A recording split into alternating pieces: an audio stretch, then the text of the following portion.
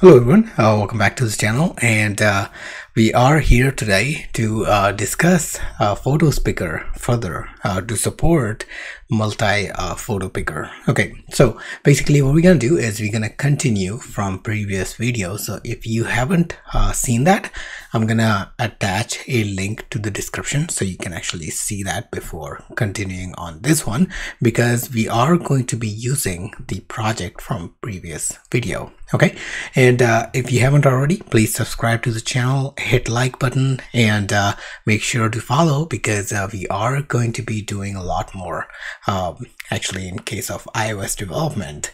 Um, and uh, one more thing I want to basically mention is uh, if you haven't checked out devtechie.com, please do so because there's a lot of content that's waiting for you uh, that you can learn about, and uh, new content is coming um, every single week. Okay, so with that said, let's go ahead and keep this on side and uh, let's go ahead and start into the uh, discussion of today, which is uh, supporting multiple photo uh, selection in Photos Picker. So let me go ahead and uh, launch the um, photos picker and uh, this is a photos picker that we worked in the last video. Once again i'm gonna leave the link in the description. But uh, what it can do right now is uh, whenever you click on this pick a photo you actually get to see all the photos with the photo library. And uh, you can select one of the photos and it'll uh, just appear on the screen. Instead of placeholder we actually display the photo itself. Okay so Photos Picker provides the capability of single selection as well as multi-selection of photos. So we are going to extend that uh, in our um, app. And uh, in order to do that uh, there are like you know uh, multiple changes that we have to do. Uh, and we're gonna start with our state variables. So currently our state variables only support a single item uh, both of them uh, selected item and selected image. And what we want to do is we want to support multiple values. So the easiest way to do this is by changing these into an array. So we're going to change this into an array of photos picker item for example and uh, the second one is going to be a uh, uh, an array of UI image instead of image.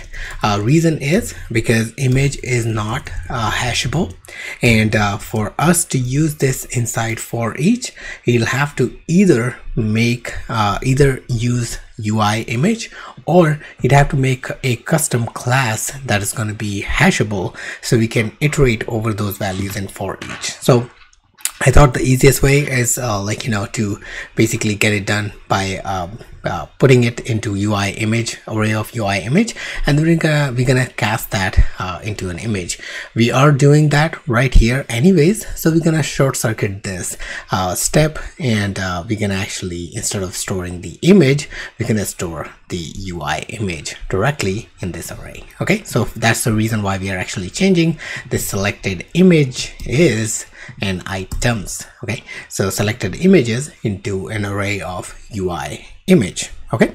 So with that change in place now we are getting uh, some of these errors. So let's go ahead and start resolving these. So first thing we're going to do is um, we're going to say if let instead of this we're going to say if selected images dot count is greater than zero. So if we have anything in the selected images then only we want to basically render this area okay?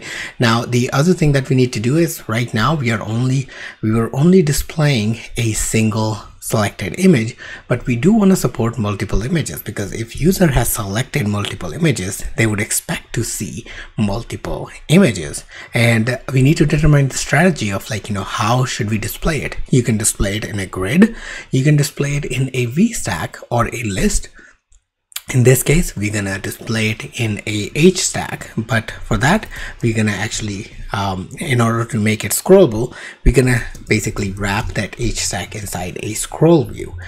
We're gonna make sure that our scroll view is horizontal uh, like you know uh, is horizontal not vertical. And uh, then we're gonna create an h stack which is going to have a for each and this for each is gonna go iterate over something.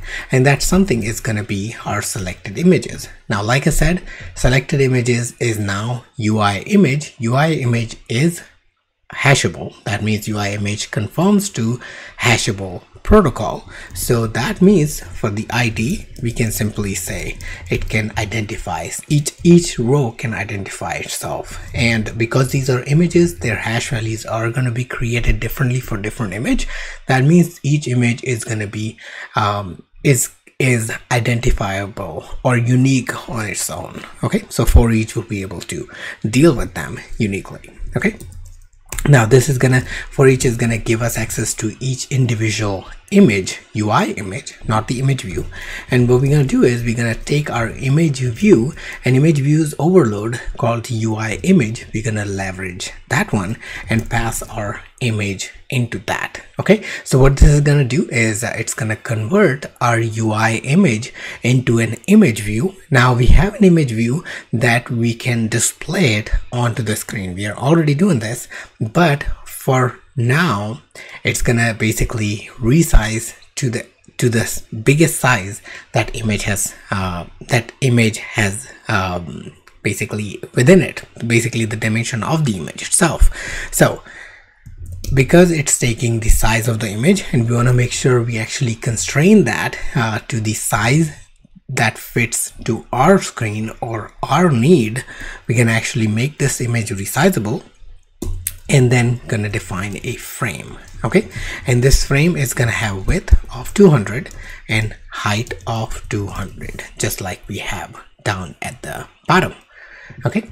And uh, now our image is ready so whenever user is picking those um, images uh, we're gonna display them inside a scroll inside an h stack which is to be scrollable because we are wrapping it inside a scroll view. And we're to iterate over all the images that user has selected and we're to display them as an image view okay? So um, now we have changed our display but our photos picker is still complaining because it can't find that selected uh, item because now it is selected items okay? And we're to leave the matching uh, any image and not video just as is okay? And uh, what we're to do is for on change we're to first of all um, say that on change observer is now going to be on selected items. And this is going to give us new values okay so uh, now we are getting multiple values and we want to make sure that we process those uh, values because now it's an array. So what we're going to do is uh, we're going to remove everything that we have and uh, we're going to basically create our task block once again for first of all selected image. We're going to make that empty because whenever user is changing the selected image we don't want to append the uh, existing item that user had already selected uh, but we want to basically display new items new selections okay? And um, basically you're gonna see in the picker uh, whenever the picker is launched whatever user whatever user has selected uh, earlier those values are still gonna be displayed onto the photos library. So you don't have to worry about like you know user selecting deselecting all those because they're gonna come back. All right so with that said we are gonna empty our selected images which is our local state variable okay? And this is basically what we're gonna use to parse our data into. And then we're gonna go into for loop for value in new values. So we're going to iterate over new values and for each value we're going to do uh, basically we're going to parse the data that we were doing just like we were doing earlier. So we're going to say if let image data and we're gonna put that in a uh, try optional and we're gonna put await against it because this is going to be a weighted value that we can actually we can wait on and we're going to load transfer transferable. And uh, load transferable is gonna look for data uh, type. So data dot self. So the data type not data type. Data type. Okay? So it's gonna look for that data type. And then what we want to do is whenever we actually get that data we want to uh, display the we want to actually get the image. So we're gonna create a UI image out of data. Sorry image data. Image data okay? And then we we are going to get access to this image. So now what we're going to do is we're going to simply have our selected images. We're going to append our new element which is going to be the image. So our selected image once again is uh, the collection of this UI image. And that's what we are parsing here. We are parsing UI image uh, with the help of data that we have actually just um, unwrapped or parsed from the uh, load transferable from the uh, photos picker item okay for each value. And that value is now uh, in the form of an image is being stored in selected images okay? So with all these changes as you can see all of the errors are gone and if I go ahead and rerun this what we should see is our same UI we're gonna pick the photo and uh, we're gonna select two images or let's select three and add okay so now you can see three of our images are being displayed and we're gonna actually we can select more. Now I've just added one more so selected four. Okay so as you can see four of our images are shown up. Even though we selected only one image picker remembered that we already had those selections. So if I unselect uh, and leave just two we're gonna basically get those two images back into our view okay so this is great but what if you want to limit the maximum number of selection? What if like you know uh, you want to say that user can only select up to two uh, images okay? We can do that with the help of another uh, parameter that we have inside the photos picker and this one is called max selection count. So let's go ahead and add a max selection count as you can see. And uh, this one uh, takes an integer optional um, so it can be nil. Nil means as many as you want your user wants to. But if you limit it to like you know certain number for example two it's gonna now limit um, the selection to uh, two photos only. Okay? So let's go ahead and rerun. And we're gonna select two photos and as you can see now I cannot select anymore. I can deselect but I cannot select. I can deselect and select another one. And if you notice the uh, uh, the view itself the simulator uh, photo library itself goes dim indicating that you cannot make any further selection. So we're gonna simply add those two. And as you can see we can add these. Now if we launch it we already have two selected. And uh, if we want to deselect we can simply uh, select different image. We can actually select a different image. So these two are showing waterfall so I'm gonna select those two. And there we have it. We have two waterfalls showing up okay?